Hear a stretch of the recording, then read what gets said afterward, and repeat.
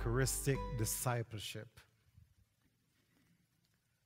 This afternoon, we're going to focus on how the Eucharist forms and sustains us. There are some things that I said this morning that, that will be repeated, but hopefully there'll be some, some new things.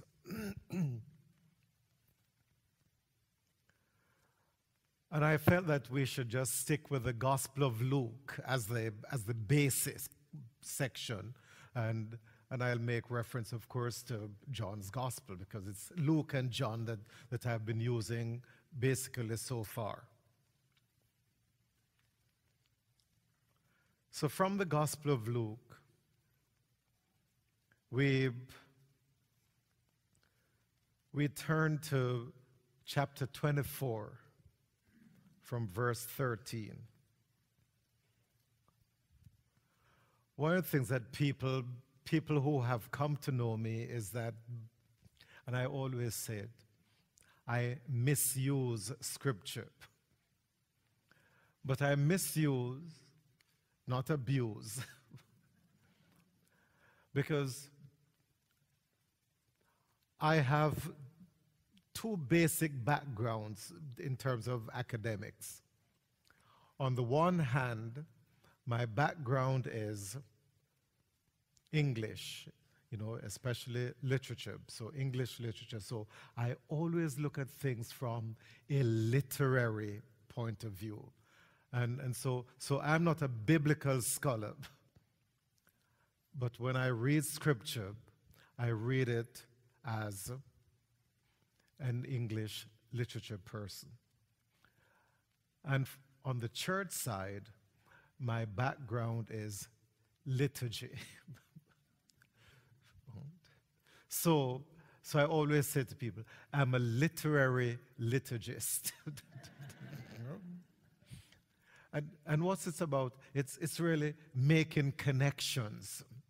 And so when I say that I misuse scripture, is that I, I look at certain things and I try to make connections. So here is the connection that I'm making. From verse 13, it says, Now that very day, and it's not literal, but I'm saying that very day, here we are together on the same day. So we're looking at another aspect of this. So that very day, two of them were going to a village seven miles from Jerusalem called Emmaus. And they were conversing about all the things that had happened. So, that very day, it's Easter Day. It's making that reference to Easter Day. But these men could only make reference to Easter Day because they too were probably present at the upper room. Because I don't think it was just the 12 who were there, there were other persons present in the room. So they had been to the liturgy. and so here they were, they were conversing about all the things that had occurred in that liturgy. because in the liturgy, Jesus had given himself, given himself totally. And they saw that he had given himself on the cross. And it happened that while they were conversing and debating, Jesus himself drew near and walked with them. The same Jesus who would later on say, Lo, I am with you always. We are those two men making our journey to our Emmaus. But Emmaus is not the destination. So they were going to Emmaus. Did they reach Emmaus? No. So, what does Emmaus really represent? What does it represent? For me, Emmaus represents running away. Hmm? They were running away. Emmaus represents a place for the disappointed. Emmaus represents a place for the disillusioned. Emmaus represents a place of persons who had given up hope. So they were traveling to Emmaus. And when we get to that place in our lives, what do we do? We just give up. We don't want to go on anymore. And we see that happening in so many areas of our lives. So it could be school, we want to give up on school. It could be marriage, we want to give up on our marriage. It could be our parish, we want to give up on our parish. It could be so many things because we are disappointed, we are disillusioned. There is no hope, so let's give up. Let's run away. So they were going from Jerusalem, going to a place called Emmaus. Seven miles away. And seven miles, it's a long way. And why is this? Because on the Jews were not allowed to walk more than a mile on, on the Sabbath. So, seven miles, it's a long way away. So, it's more than a 10K run.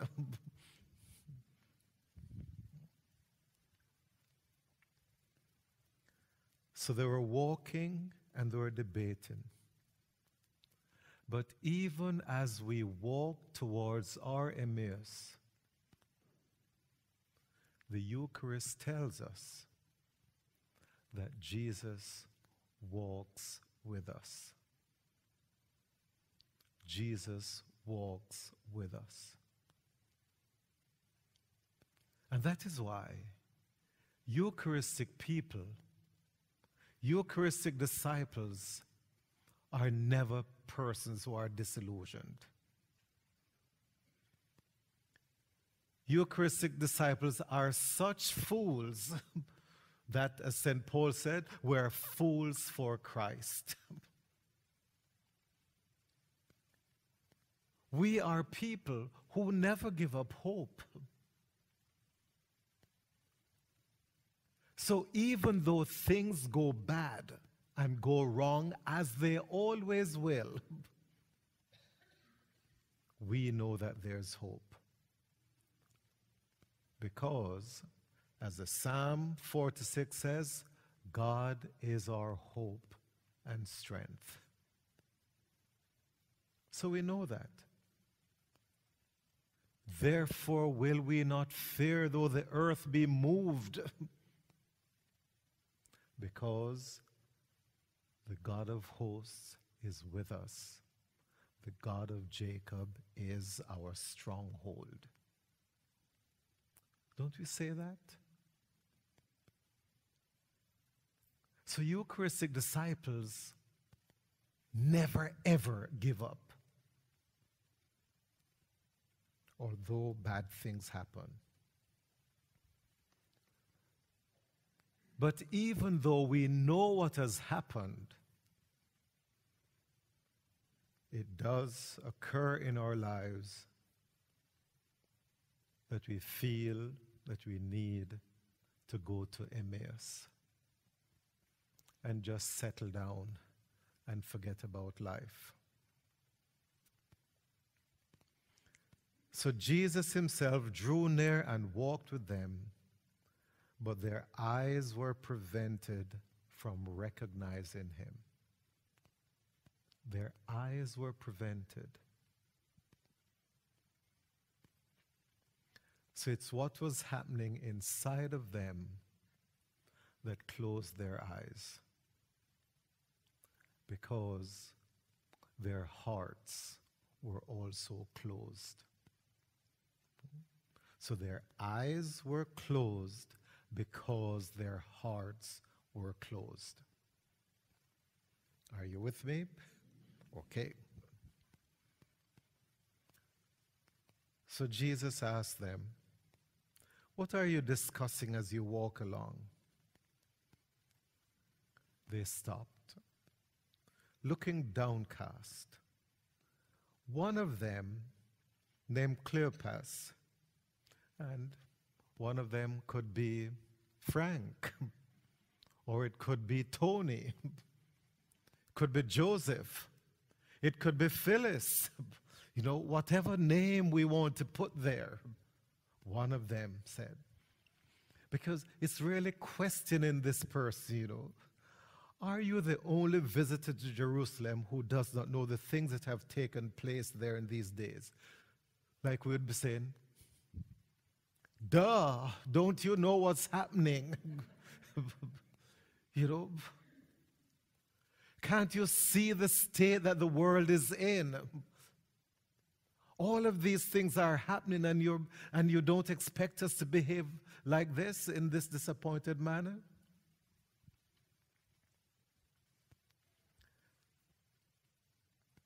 And Jesus said, What sort of things?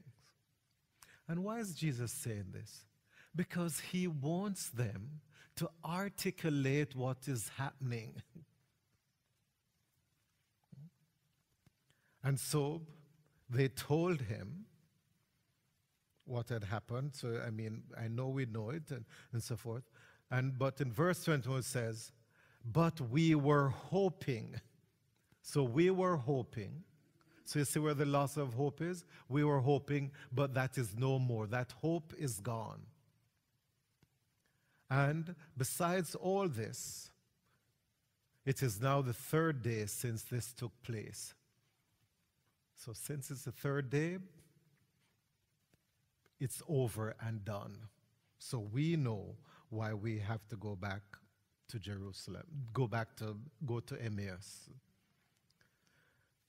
So, some women from our group, however, have astounded us. They were at the tomb early in the morning and did not find his body. They came back and reported that they had indeed seen a vision of angels who announced that he was alive. And so they went and saw things just as the women said, but him they did not see because their hearts were closed, so their eyes could not see. That, that's not said here in the Bible, but I'm interpreting. Hmm? So, they didn't see him. What had Jesus said at the Last Supper, This is my body. This is my blood.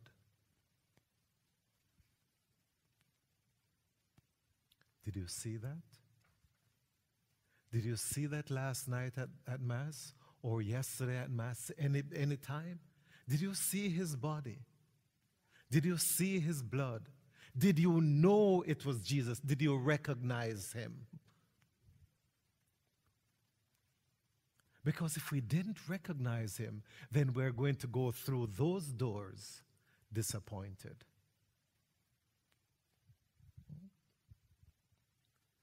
And so, what is Jesus saying to these men? Oh, how foolish you are. How slow of, how slow of heart. You see with the heart coming in there? How slow of heart to believe all that the prophet spoke. And then, beginning with Moses and all the prophets, he interpreted to them what referred to him in all the scriptures. So he opened, well, he opened the scriptures. He opened the scriptures to them. Isn't this part of what happens in the Eucharist? Because the Eucharist that we celebrate, we talk about the liturgy of the Word. And that is an important part of the Eucharistic celebration. Some people believe that you know we should just hurry and get this part over so that we can get to the to the big part the most important part so people don't want to be bothered with the liturgy of the word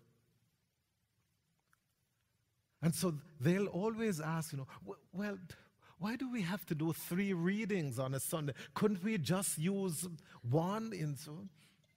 Or I've heard people say, why couldn't we just have the gospel? And that's it. Because it's taking up time. So they don't want the scriptures to be opened. But the general instruction on the Roman Missal even says that we should have a time of silence after each reading. But, we spoke about the silence already. But if we have that time of silence, people are going to be thinking this. Because it is for us to encounter that word. You know, I. Have you ever been to, to a Catholic charismatic gathering? I mean, and, and I'm not charismatic as in that way. But I tell you, I've been to a, a Catholic charismatic gathering in Jamaica. And after the reading, the first reading, before the responsorial psalm, oh, they break into song. Oh, and it is, and there's a song that they love to sing, you know, um, bless thy word unto our hearts and glorify thy name. you know, see all of these, and they have their arms up and, and so forth. But it is that they want the word that is proclaimed to speak to them. And they're giving it time for that to happen. So Jesus went through and he opened the scriptures. Have you ever heard, and you know, there are four new Eucharistic prayers that we have in the Missal. Um, and all and in those four Eucharistic prayers, the words are used there where it says that Jesus opens the scriptures and breaks the bread. So, so the four Eucharistic prayers, the church on the path to unity, Jesus the way to salvation, um, you know, Jesus went about doing good. Look at, look at those sometimes. So in the Eucharist, the scriptures are opened because we encounter Jesus in word as well as in sacrament. Because Moses said that he pointed out to them what was said about him in the scriptures. So from the, from the prophets and, and Moses going all the way down. And so, then after this, when they, when they approached the village to which they were going, he gave the impression that he was going on farther. But they urged him, Stay with us, for it is nearly evening and the day is almost over. So they're pleading with him, Stay with us. So at least they're hospitable. They had learned something. So, how to be hospitable.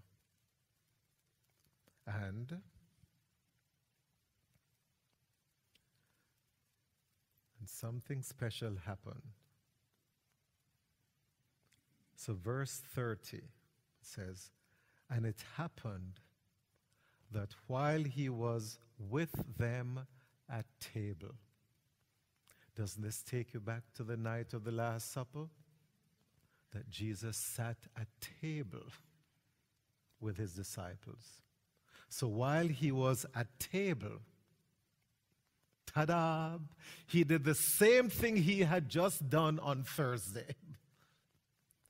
He took bread, said the blessing, broke it, and gave it to them.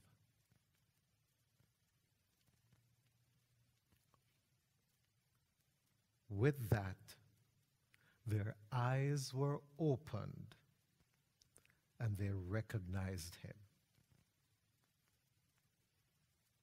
Their eyes were opened and they recognized him.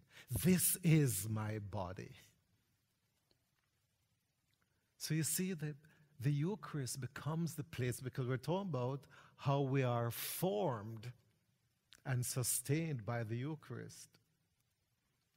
So we go back to the Eucharist day by day to have that new encounter, to have our eyes opened so that we can recognize Jesus. But I said earlier on that their eyes could not see because their hearts were also closed. Right. So, and why do I say this? And why do I know that I'm right? Because when Jesus vanished from their sight, they said to each other, Were not our hearts burning within us while he spoke to us on the way and opened the scriptures to us?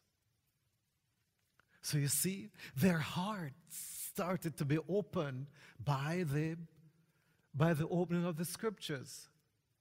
And this is why it is so important to have the liturgy of the word. Because our people are hungering for the word of God. And it is a very, very important part of our Eucharistic celebration. So it's not just to give some little, a few kind words. It's not about just sharing a few kind thoughts. It is about proclaiming Jesus Christ so that people can encounter him and have their hearts opened. Because if their hearts are not open at this point, it will not be open later on to recognize him in the breaking of bread. So the proclamation of the scriptures must take place first before the proclamation of the table. So we feed at the table of the word in order to be prepared to feed at the table of the sacrament. So we're formed by that. So the word is there, and then we will clearly see. So, what did these men do? Verse 33 says, So they set out at once and returned to Jerusalem. At once. So there was this sending forth. And what, what is it? They're being sent back to the world from which they were running, to that same world. So go back. So no longer, no longer were they running away. No longer were they disappointed nor disillusioned. Their hope was now restored. Their eyes were open because their hearts were open and they were on fire. On fire. We in the Catholic Church, we need some people, all our people, to be on fire. On fire for the Lord. On fire for the Eucharist. You know, um, and I don't want you to think that, that I'm up here acting. I'm not acting. you know, because, so I, I'm not doing this because I want to get an Oscar. I'm doing it because this is what I feel right in here. And I feel it in here because I know it. Because I know that all of this is so important for the church, so important for us. So we want to be on fire. And we want to go where no one else will go because we have this good news to proclaim. And so, at once they returned to Jerusalem and they found the eleven and, and those with them who were saying, The Lord has truly risen. So, do you see the community? The community be informed. Then the two recounted what had taken place on the, on the way and how he was made known to them in the breaking of the bread. And so Jesus continues to make himself known to us in the breaking of the bread. So, going back to this morning, Jesus told his disciples to go and prepare that place where he would have the Passover with his disciples. We have to prepare ourselves for that encounter. We have to. I don't know if it is in this St. Augustine hymnal, but there's one of the, one of the other hymnals, Glory and Praise, or whatever it is. There's a Eucharistic song, I come with joy to meet my Lord. That's one of those songs in, in one of those books. So you see, we have to prepare ourselves for that. So it's not just going in to do something, to do a thing, but we're going in to meet Jesus. So if someone should meet you at the door and say, What are you doing here this morning? I've come to meet Jesus. So if Glenda decides to interview you for something for the Florida Catholic, and she asks, Why are you going to Mass? Tell her I come to Mass to meet Jesus, to encounter Him. And this is what we want to see during this year of the Eucharist that people encounter Jesus and that we make this diocese a better place so that the Diocese of Orlando can become the leader of the Florida Catholic, as in not the newspaper now. you know. So that we can truly say to all these people, yes, indeed, this is the center of the Catholic Church in Florida. And why not the center of Catholicism in the United States? so, we meet this Jesus and we help others to meet him. So then, these men had another encounter with Jesus. They had their renewed vigor. They were accompanied by Jesus and they realized that they needed that encouragement to go on their mission. And after having encountered Jesus, then they go out and they say to people by their words and by their example, We have seen the Lord. We have seen him. We just ate with him. We have seen him. And so we're formed by that Eucharist. But we want to be sustained by it. And this is why next week we're coming back. you see, so, so we don't just go once a year or once a month.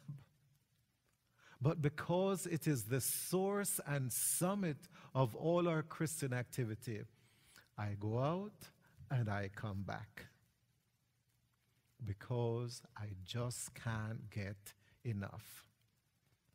And I'm going to keep on going out and coming back until I am at that table in heaven. I'll just keep on doing it because we want people to know that this is the way to get to the kingdom of heaven. And so I think of even persons who are extraordinary ministers of Holy Communion. I, there's a story that I love to share because it it's a very painful story. but I love to share it because I think it needs to help people. When I was in Pennsylvania, one of our brothers was sick and in hospital. And we went to the hospital to see him. And um, a woman came in and and she said, you know, are you so and so? You know, calling by name, and she said yes. And she said, well, okay, I'm a I'm a Eucharistic minister from Saint so and so church and so on, so I've come to give you communion. Would you like that? And, and he said, sure. I mean, this brother, he's a priest, but you know, I mean. And, and she opened her pyx, the body of Christ. Okay, I'm, and I'm gone. And off she went. So just like that. so clearly, she had no idea what she was doing. And I think, and I've heard, that it happens frequently that people just go in and they give them the biscuit, and off they go. so that there is no true encounter with Jesus. So that sick person in the hospital doesn't feel any hope from all of this.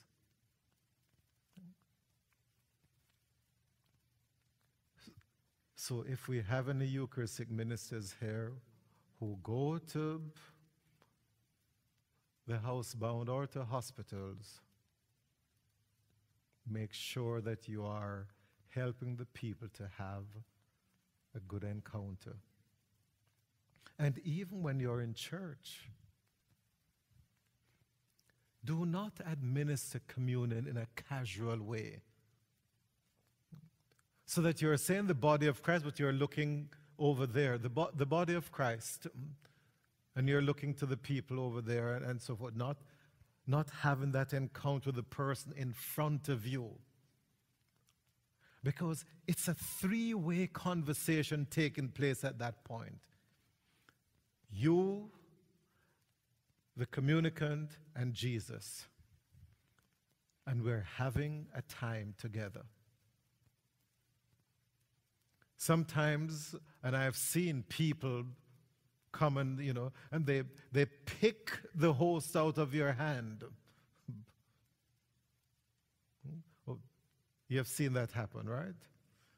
You know, no. Where did they get their, their formation? So something has to happen where that is concerned. So, so you see, so it's just receiving a thing. but not receiving Jesus. But hopefully, all of these will be addressed during this year of the Eucharist. So, we want to have that change. Let us meet the Lord. And so, Jesus is saying to us, encounter me, receive me, and I'll be in you, I'll be walking with you. Because he said it at the ascension Lo, I am with you always. And therefore, we do it again and again, as I said, and we come back next week for more. more. So it's maintenance and it's sustenance. And then Jesus says to us, now this is in the Gospel of John.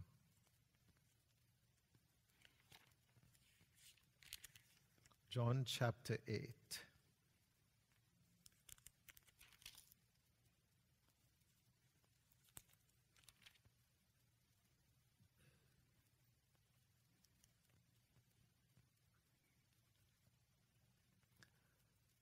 And so this is where I want to bring this part to an end. Because I'm speaking to you, you who have come out to be here today. There are things that you could be doing. Because, you know, today being a coldish day, and we know how people in Florida, when, they, when it gets down to 60 degrees, they want to turn on the fire. you know? So you could be turning on your fireplace, you know, and just sitting and relaxing. Um, someone said to me yesterday, you know, said, "Oh, I'm, I can't wait for it to." To, to get cooler so that I can at least cook some comfort food. so, so there are things you could be doing, but you made the effort to be here on this day. And so, John chapter 8, verse 31, Jesus said to those Jews who believed in him, So I'm saying to you, you Catholics who believe in Jesus, and Jesus said, If you remain in my word, you will truly be my disciples so if you remain in my word, you will truly be my disciples. So we're talking about forming Eucharistic disciples. And we see the connection between the word and the sacrament. But Jesus didn't stop there, and he said, And you will know the truth. You will know the truth In another place, he said, My word is truth. Also, in another place, he said, I am the way, the truth, and the life. So, so it is him that we'll get to know. And he said, And you'll know the truth, and the truth will set you free. You'll know the truth, and the truth will set you free. And set you free for what? In the, in the Benedictus, you know, the Song of Zechariah, it says, Set us free to worship Him without fear. That's why we want to be free. That is true religious freedom to worship Him without fear. And it didn't stop there. It says, holy and righteous all the days of our life. Holy and righteous all the days of our lives. And what is it to be holy? To be holy means to be separated to God for God and God alone. So when we talk about the church as the holy people of God, it means that we exist for God and for God alone and for nothing else and for no one else. So, so my sisters and brothers, I'm exhorting you to be holy, holy disciples, that you belong to God and to nobody else. That you're here to serve Him and no one else, because God says, I am the Lord your God, and you shall have no other God beside me. So it's, it's all connected. And the, and the Eucharist brings all of that to mind for us. So we will become truly formed. We will be sustained through it. So we have to, we have to just keep on coming so that eventually we will make it. So that's where I'm going to, to end this session. We can have a time for if you have any, any questions or any comments, we can deal with that. And then you have time for your, your personal moment with God. And at, the, and at 2.30, we'll have the Eucharistic adoration and benediction to close the day. So, any questions and you know um, anything for for clarification? There is a part in in scripture, but, and unfortunately, I, don't know scripture that well that I could say that, that this is in Jeremiah chapter 20, verse 5, you know, whatever it is.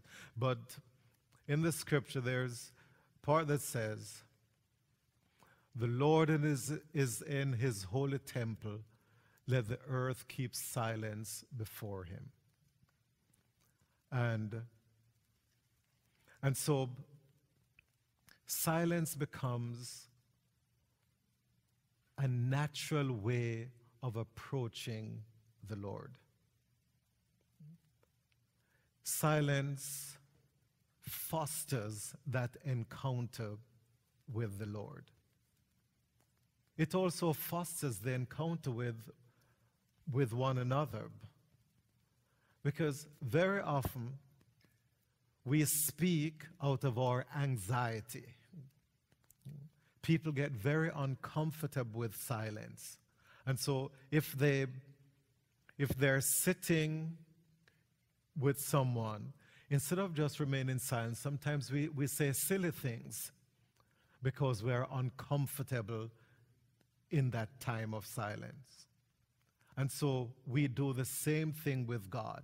We believe that silence is unproductive, but silence is very fertile. It allows so many things to happen. So, so I believe, you know, um, just, just sitting there in the presence of God. It's contemplating the presence, contemplating the mystery. Because we, when we enter, sure, there are things that we will be saying, but there are other times when we just, we just listen. Um, think about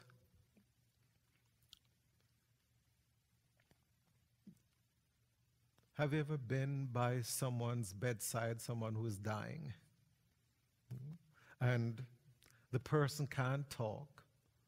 The person, as far as we're concerned, the person isn't even aware of our presence.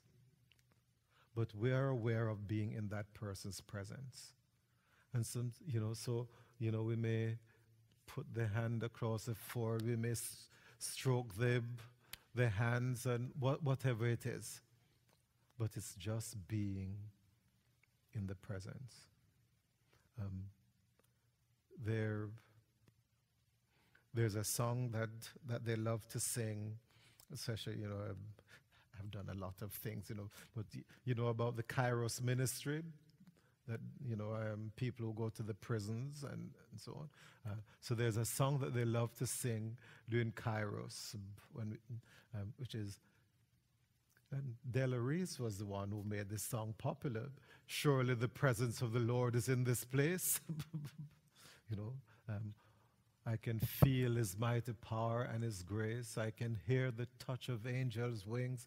I see glory on each face. Surely the presence of the Lord is in this place. And it's just contemplating that in silence. You know, um, there, there's much more that I could say, but you know, but we'll be here until next week.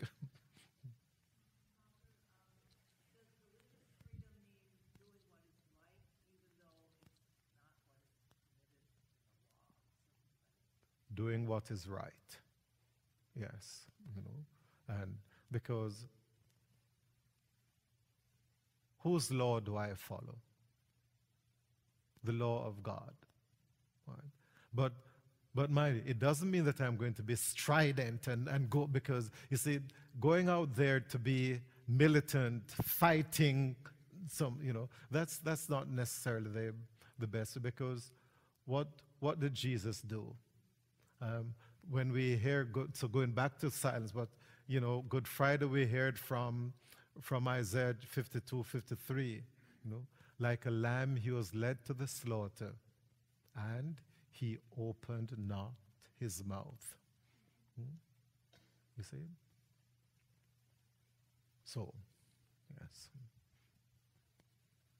Because, you know, um, the thing about that, that even in the church, that sometimes we have to fight. We're fighting for that religious freedom in the church because people, you know, someone may say to you, oh, so why do we have to go to Mass every Sunday? You know, you can, you know, one of your own Catholic persons could say that to you know?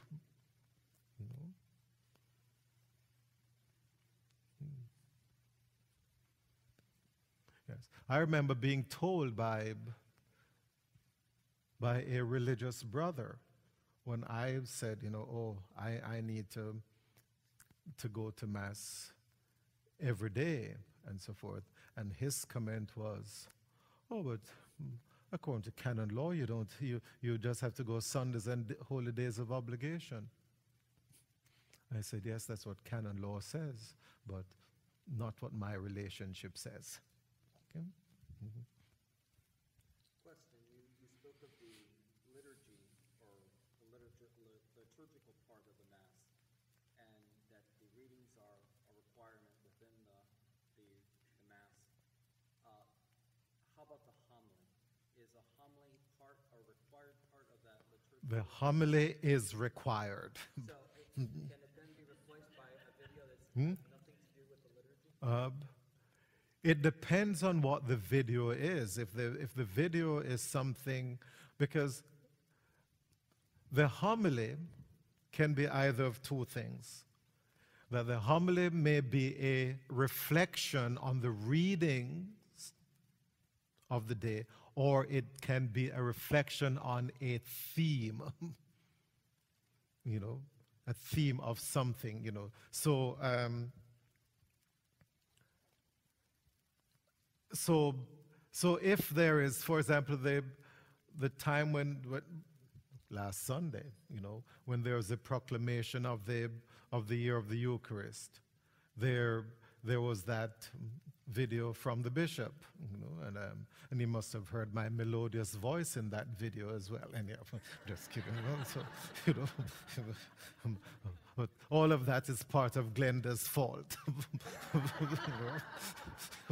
yes, but you know, so like that, but a different kind. So, so something coming from the bishop, yes, but but I mean, if it's uh, another kind of video, may not necessarily be what is required, what is allowed. Mm-hmm.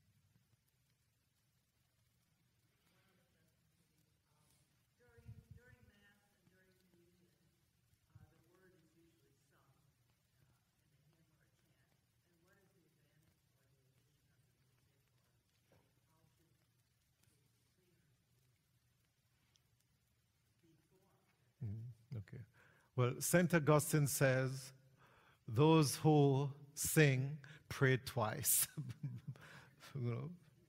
Yes. Um, and so St. Augustine would have been a fan of singing in the, in the liturgy. And, and yes, you know, um, and St. Paul says it, that we should give praise with psalms, hymns, and spiritual songs. So the singing is, is important for the, for the liturgy.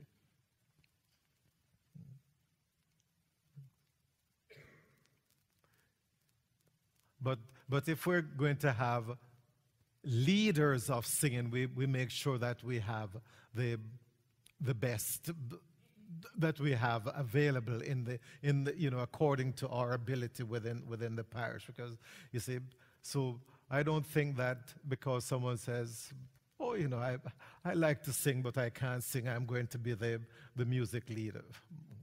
You know?